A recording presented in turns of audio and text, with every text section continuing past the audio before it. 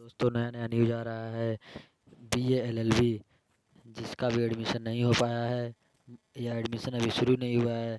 ये B L L B का देखिए, अभी न्यूज़ आया है। बी एल एल बी ने, में प्रवेश की प्रक्रिया की तारीखें जारी हो गई हैं। इसके लिए काउंसलिंग की आगामी सत्रह नवंबर से शुरू होगी।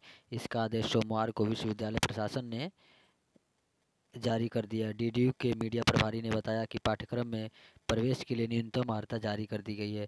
सामान्य एवं अन्य पिछड़ा वर्ग के अभ्यर्थियों के लिए इंटरमीडिएट में पैंतालीस फ़ीसदी तथा अनुसूचित जनजाति के लिए अभ्यर्थियों के लिए चालीस फ़ीसदी अंक के साथ उत्तीर्ण होना आवश्यक है।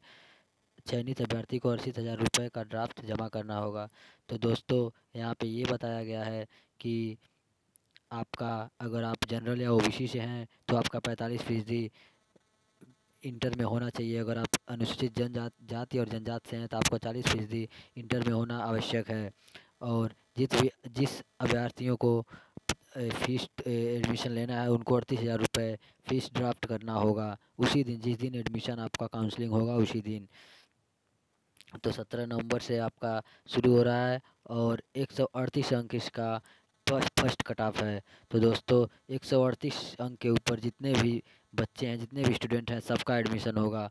और कोई घबराए मत। इसका अड़तीस है तो एक सौ बीस, पच्चीस, एक सौ दस तक इसका कट ऑफ़ जाएगा दोस्तों। तो घबराइए मत, सबका एडमिशन होगा।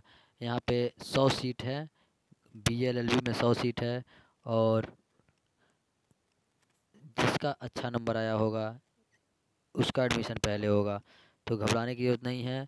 और ई डब्ल्यू एस का इसमें कोई भी ये नहीं दिया है कि अगर आप ई डब्ल्यू एस हैं तो आपको कुछ छूट मिलने वाला है, क्योंकि बार काउंसिल के अनुसार अभी ई डब्ल्यू एस का कोटा यहाँ पे लागू नहीं किया गया है। तो दोस्तों ई डब्ल्यू एस अभी यहाँ पे लागू नहीं किया गया है तो अगर आप सौ नंबर से ऊपर है आपका तो आपका एडमिशन पक्का है बी एल एल बी में। घबराने की कोई बात नहीं है। दोस्तों, मैं सारे न्यूज़ आपको डायरेक्टली बताऊँगा। गोरखपुर यूनिवर्सिटी दीनदयाल उपाध्याय गोरखपुर यूनिवर्सिटी के सभी न्यूज़ सभी न्यूज़ अपडेटेड न्यूज़ अपडेटेड कोई भी क्वेश्चन सभी आपको तुरंत बताऊँगा। आइए हमारे चैनल पे socialist Sharma subscribe share and comment please दोस्तों, कोई भी क्वेश्चन हो, आप डायरेक्ट हमसे क्वेश्चन पूछ सकते हैं। सभी क्वेश्चन के जवाब मिलेंगे। धन्यवाद दोस्तों।